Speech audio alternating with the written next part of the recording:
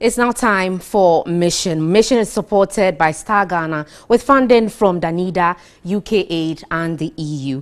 Now, academic work at Kpoi-Ete KKMA Primary School is affected during the rainy season due to the absence of a bridge on the Laloi Lagoon. Teachers want a bridge constructed to facilitate easy movement of pupils.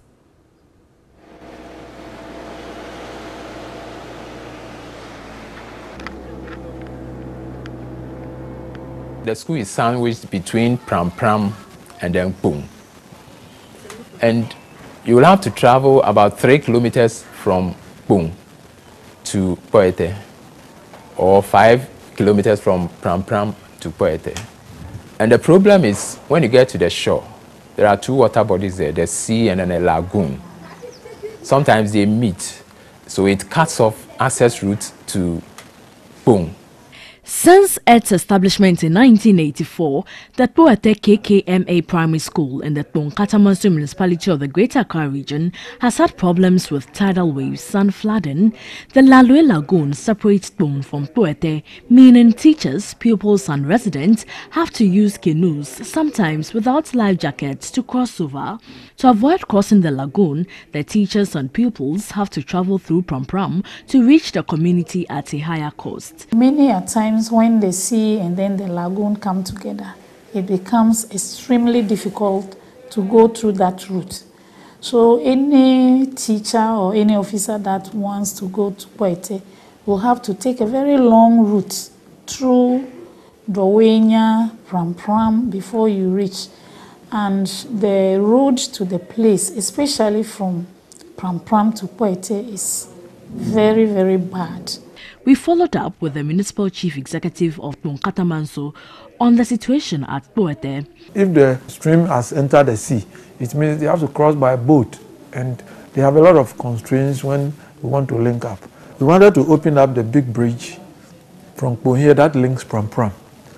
Uh, we want to take hold of the Kpone side. We are having a joint appeal, Ningo Prampram and Kpone Katamanso, to have the one on the stream to link, which it takes five minutes to drive to Prampram Pram.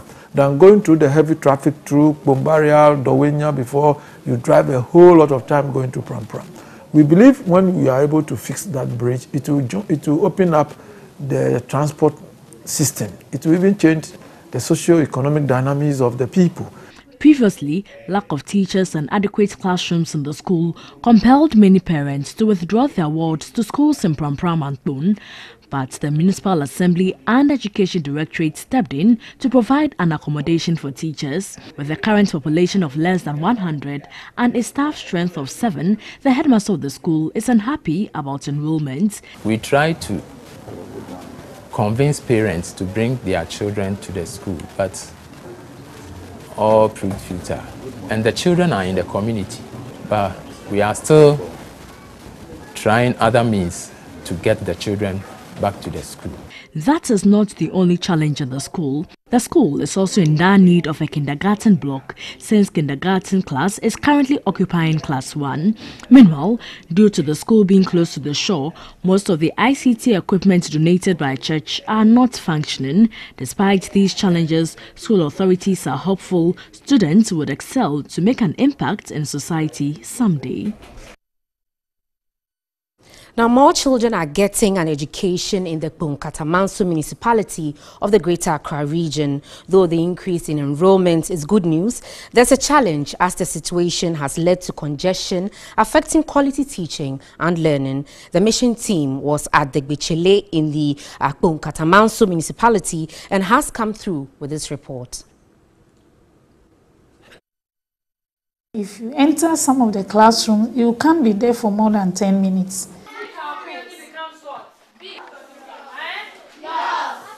The heat is unbearable and concentration among pupils is low.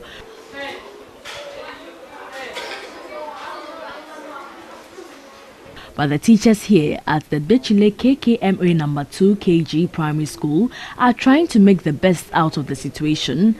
About 97 pupils are crammed in one classroom with only one teacher who has to move intermittently out of the classroom to receive fresh air.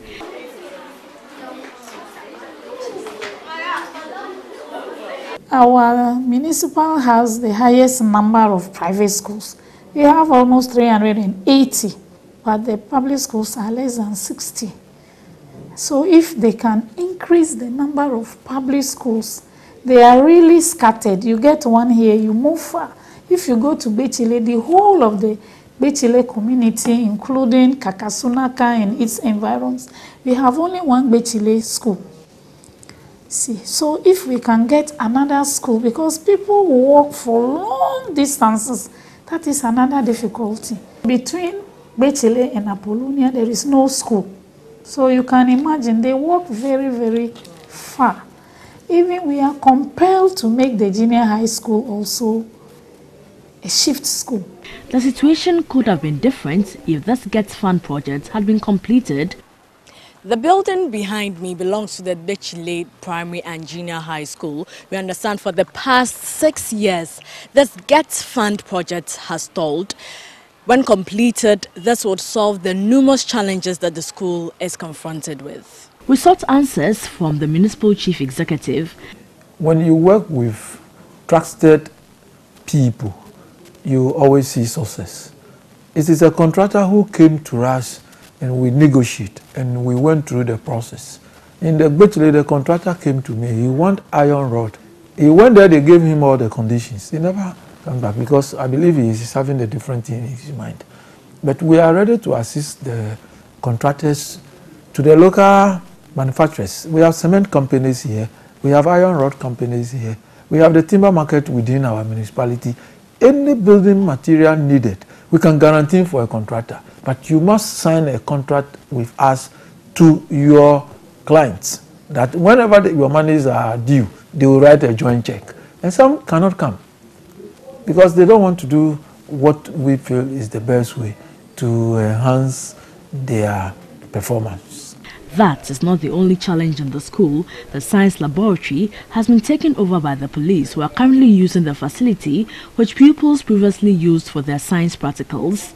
At the junior high school section, some teachers have their staff common room outside Lack of fencing in the school makes it prone to theft. Weeks ago, some persons broke into the junior high school section of the school and made away with some school materials for teaching and learning.